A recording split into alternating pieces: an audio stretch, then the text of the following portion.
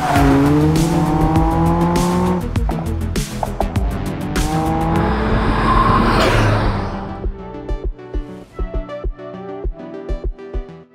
Welcome to a new series of sports and exotic car where we're going to re-examine and re-evaluate some of the most exciting, rarest and most iconic performance cars of all time. There will be no regurgitating of received wisdom, no rose tinted glasses. We're going to find out if these models are worthy of the hype and the reverence. To start, we are going full JDM, Group A royalty, and right now just about the hottest car on planet Earth. This is the R32 Nissan Skyline GTR. What a place to start for this series presented by Gullwing Motorcars. Nissan's Wild Coupe emerged into a world of 911s that hadn't even adopted independent rear suspension, and Ferraris with strakes and attitude, but no real substance. Armed with twin turbochargers, intelligent four wheel drive, four wheel steering, and developed with obsessive attention to detail, the GTR was a whole different animal and Nissan wanted to prove it. So why is this car such a legend? And I have to admit, I am a massive JDM fanboy, so this is a big moment for me. I've never driven an R32, but the root of its legend is motorsport, like so many of these cars that become icons.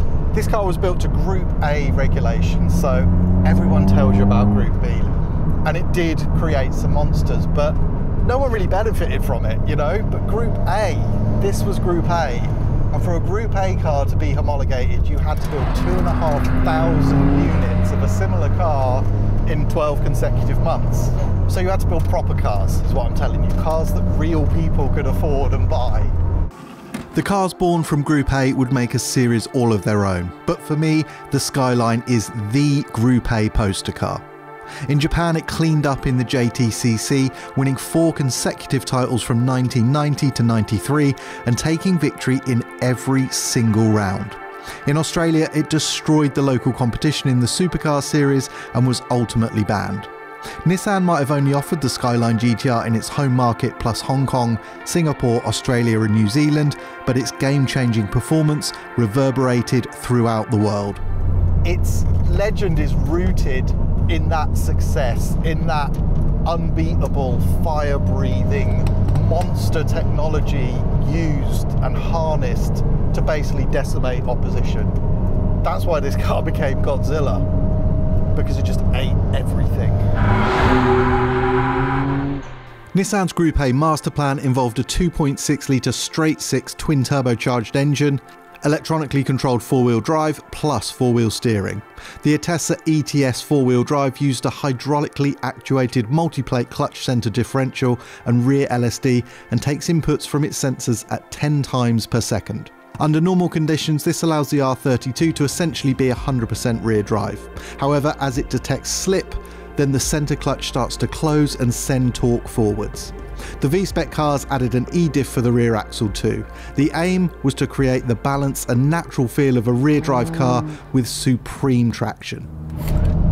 When you add up everything that made this car special, the chassis, the engine, the balance, the incredibly sophisticated technology, doesn't really add up to much in 2023. This was not a lightweight car. It's over 1,400 kilos, 276 horsepower under that Japanese manufacturer agreement. It just doesn't sound that exciting, does it, by our standards? But, of course, another huge part of the legend so none of these things stayed at 276 horsepower. There's so much more available and you don't have to look very hard to find it. You can be that person, the one who scours the world for a standard Nissan Skyline GTR.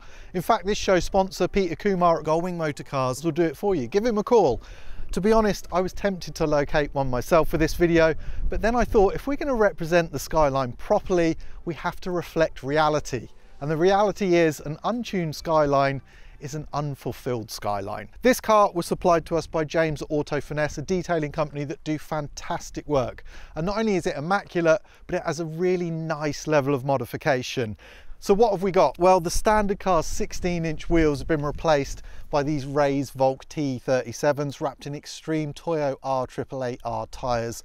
Also has BC Racing coilovers, adjustable and Hardrace adjustable suspension arms too. And really important on this car, it has a HICAS delete kit a number of people, a lot of owners, they find the rear wheel steering system a little bit unnatural, so they decide to lock it out, which is just what the Australians did to create those incredibly dominant race cars. The engine on this car is really tasty without getting completely silly. So we have all the good stuff, an Apexi induction kit, full exhaust system, Fujitsu on this car. We've got uprated HKS turbos, injectors, cam, sequential blow-off valve, all the good stuff. We also have a big Mishimoto alloy rad because as we up the power, we need to increase the cooling as well. The result is 477 horsepower. Doesn't sound crazy, but it's 200 more than standard and it is plenty, I think, for this car. And of course, we're going full JDM. So we have a transparent Nitto cam belt cover because if you're gonna go JDM, you have to go all in. But the point is the standard car is really just a gateway drug and there's so much potential with this car to pick and choose components and create any owner's dream version of a Skyline. We fetishize originality so often, but this is a car that almost demands to be modified. Let's break down everything you think you know about the Skyline. Take each element one at a time and see if it holds true. I guess the first thing is that it's a driver's car that almost drives itself that basically if you drive one of these quickly, you're cheating. Well, let's take that for a start. Even at low speed, it's instantly apparent that isn't the case. There's so much physicality in this, and part of that is because new cars have become so much more assisted in everything they do. But even for a car of this vintage, the weightiness of the steering, the sort of heft of every single control and the way the engine feels, it's very, very mechanical in nature and it requires input and effort. It's not a car you can just jump in and drive quickly without really thinking. It forces you to be physically involved in the process, which is fantastic. I guess the next big cliche is that the Skyline is just an absolute missile along the ground. And that one does hold a bit more water. Like I say, you need to understand the way this car works and you have to be on top of it but once you've got your head around the four-wheel drive system, the fact it's going to ask you to really correct the car when it wants to slide and be on top of it and be prepared to manipulate it, the speed you can wrangle out of it is really, really impressive. But the one thing that the Skyline is really known for is its engine, the RB26. And I think it's fair to say that is another area where the reality more than lives up to the legend.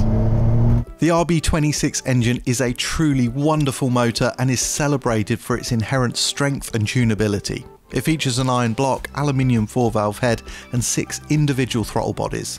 With twin turbos running 10 psi of boost, it may have left the factory with only 276 horsepower, but as we've discovered, that was usually just the beginning.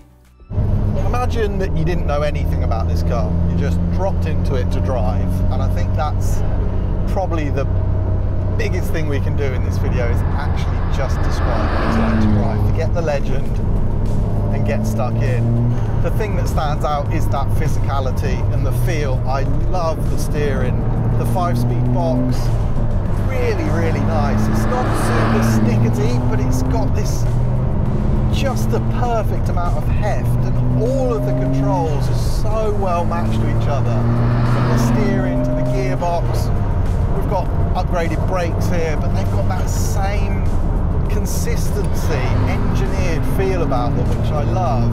The biggest thing to me is how agile and lightweight it feels for such a pretty hefty car.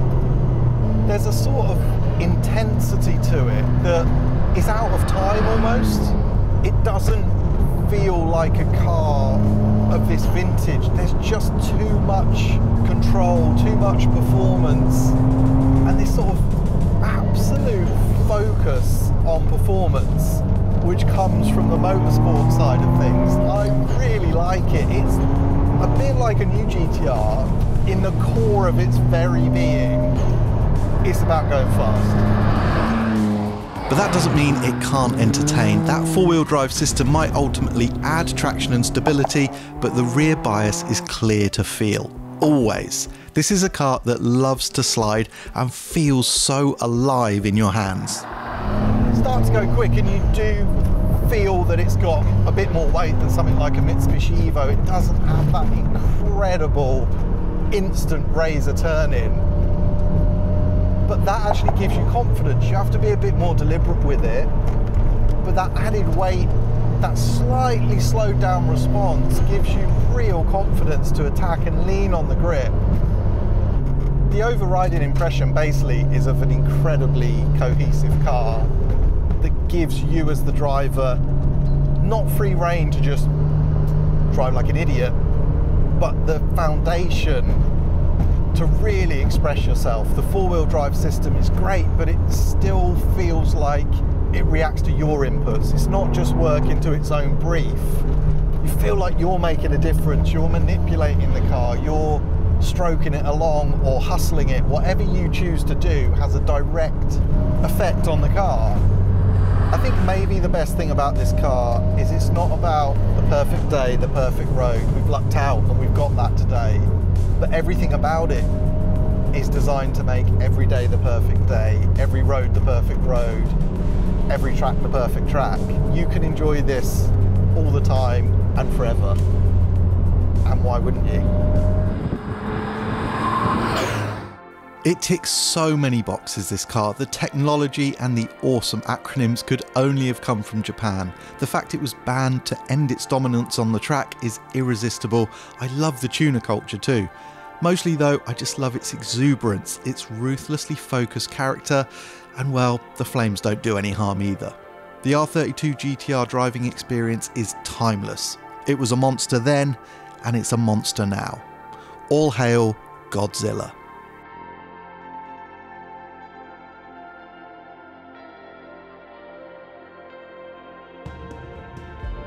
Peter Kumar's dream when creating Gullwing Motorcars was to focus on each customer's unique story and fulfill their ultimate ambitions. For over 35 years, their flawless record shows that Gullwing Motorcars goes above and beyond. So if you're looking to buy or sell, head to gullwingmotorcars.com for a truly personal experience. Better yet, give Peter a call and start your journey today.